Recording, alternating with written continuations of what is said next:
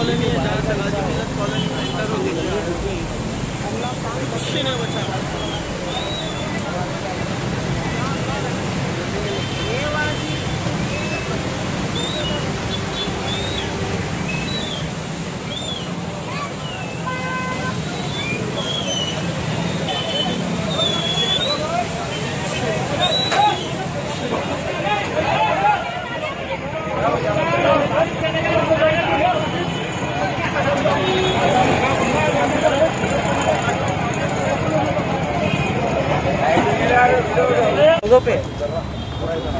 आप सब लोग जानते हैं कि हैदराबाद में रिकॉर्ड तरीके से पानी पूरे मोहल्लों में, बस्तियों में, ख़ास तौर पर सलम बस्तियों में आ गया।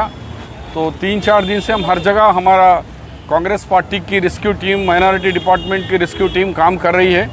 आज हम मलकपेट में, यानी चादरघाट ब्रिज के नीचे मालूम हुआ कि पाँच दिन से लोग बहुत ही परेशान हैं। तो उनकी परेशानी मालूम करने के लिए और साथ ही साथ खाना और कुछ लोगों के लिए कपड़े, कुछ लोगों के लिए ब्लैंकेट्स और साथ ही साथ कुछ जो लोग बिल्कुल ही गरीब हैं, जैसे कि अभी एक और पीढ़ी के एक ही बेटा पोतरा है 20 साल का बह गया पानी में, अभी तक नहीं मिला। ऐसे लोगों को कुछ हम फाइनेंशियल भी खिदमत करेंगे कि ये नीयत से हम आए। ना इलेक्शन नहीं है, वोट नहीं है, ना किसी पार्टी के ख़िलाफ़ बोलना। ये इंसानियत का है।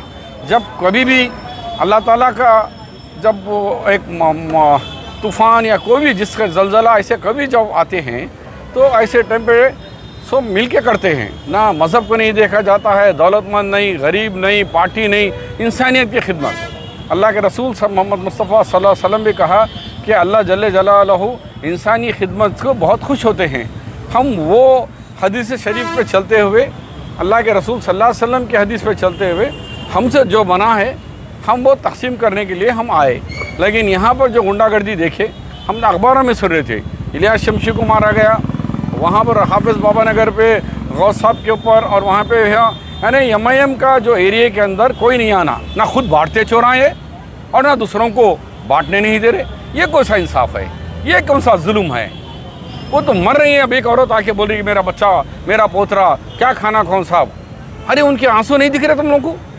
उनकी आहट तुम्हारे को सुनाई नहीं सुनाई नहीं दे रही। गरीबों की आवाज़ सुनाई नहीं दे रही तुम लोगों को। बड़े बड़े बंगलों में बैठे हुए हैं। अरे, बावन साल से तुम लोगों को वोट दे रहे हैं। ऐसे मुसीबत पर तुम नहीं करते और दूसरों को नहीं करके दादागिरी कर रहे। इन ये दादागिरी नहीं चलेगी। फिरौन की फिरौने नहीं नमरूद की नहीं रही थी। ये बालखाओं की क्या रहने वाली है?